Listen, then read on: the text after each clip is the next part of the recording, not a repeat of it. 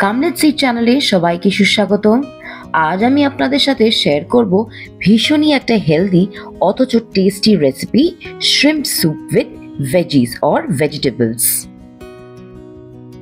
shrimp বা prawn বা চিংড়ি যেটাই বলুন, আগে ভালো করে পরিষ্কার করে নিতে হবে। তার জন্য মাছের দাঁড়াগুলো কেটে নেব আর মাছের যে খোলসটাকে একটা কাঁচির সাহায্যে কেটে তার থেকে শিরাটা বাদ দিয়ে দেব। মাছের শিরাটা অবশ্যই কিন্তু ডিসকার্ড করব। না হলে অ্যালার্জি বা পেট ব্যথা হওয়ার চান্সেস থাকে, তাই ঠিক করে পরিষ্কার করাটা খুব দরকার।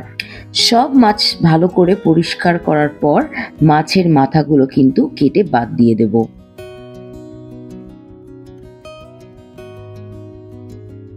আমি ব্যবহার করছি বাগদা চিংড়ি বা টাইগার প্রনস পাঁচশো গ্রাম মতো, আর তাতে নুন হাফ টিস্পুন মতন মাখিয়ে নিচ্ছি।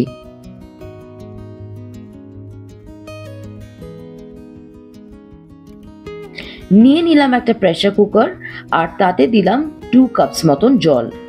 কারণ এবার সব সবজিগুলো আমরা পার বল করে নেব। নিয়ে নিচ্ছি গাজর, নিয়ে নিচ্ছি বিনস ও দু মুঠো মতো সুইট কর্নস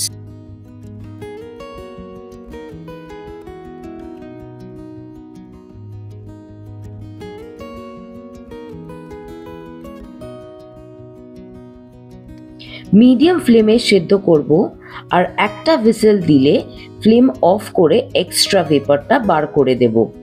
সবজিগুলোকে ছেঁকে নেব আর স্টকটা কিন্তু রেখে দেব। স্যুপের জন্য লাগছে একটা মিডিয়াম সাইজ পেঁয়াজ, একটা গোটা রসুন, এক ইঞ্চি মতো আদা ও চারটে কাঁচা লঙ্কা। আপনারা যদি তেল অ্যাভয়েড করতে চান অ্যাভয়েড করতে পারেন, আর তার পরিবর্তে কিন্তু butter is a very healthy option আমি এখানে ওয়ান টেবিল স্পুনের চেয়েও একটু কম বাটার ইউজ করেছি। চিংড়ি মাছগুলোকে শ্যালো ফ্রাই করে নেব এক থেকে দু মিনিটের জন্যে। দ্য মোমেন্ট চিংড়ি মাছের কালারটা চেঞ্জ হবে, তারপর কিন্তু আর ফ্রাই করব না।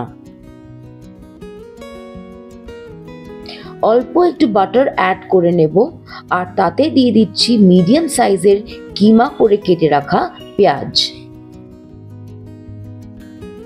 পেঁয়াজ অল্প ভাজা হলে দিয়ে দেব এক এক করে মিন্সড গার্লিক আর মিন্সড জিঞ্জার ফ্লেম এখানে আমি লো টু মিডিয়ামই রাখছি।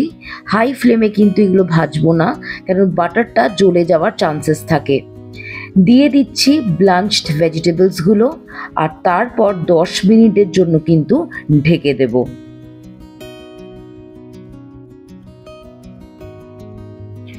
দশ মিনিট পর ভেজিসগুলোতে কিন্তু বাটার আর শ্রিম্পের ফ্লেভার ভালো করে মিশে গেছে। আর দিয়ে দিচ্ছি এখানে হাফ টিস্পুন মতো নুন। নুনটা ভালো করে মিশিয়ে নেব আর দিয়ে দেব ভেজিটেবল স্টকটা এইখানে প্রায় দেড় কাপ মতো স্টক আমি বারে বারে ইউজ করেছি।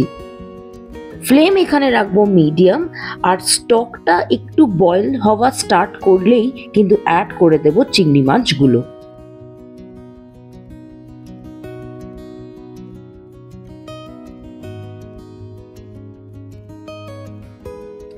আমি এখানে ভিনিগারের পরিবর্তে দিয়ে দিচ্ছি হাফ লেবুর রস।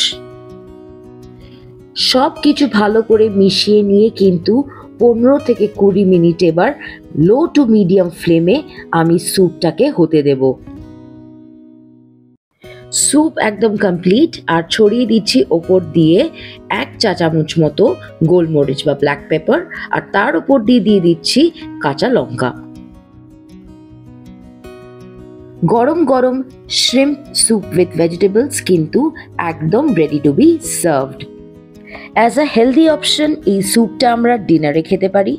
আমি শুধু খাওয়াই প্রেফার করি। আপনারা চাইলে ব্রেড স্টিক দিয়েও কিন্তু এটা খেতে পারেন।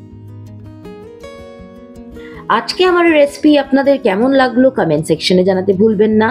ভালো লাগলে সাবস্ক্রাইব করবেন। দেখা হবে নতুন একটি ভিডিওতে নতুন একটি রেসিপি নিয়ে। সবাই ভালো থাকবেন, সুস্থ থাকবেন। ধন্যবাদ।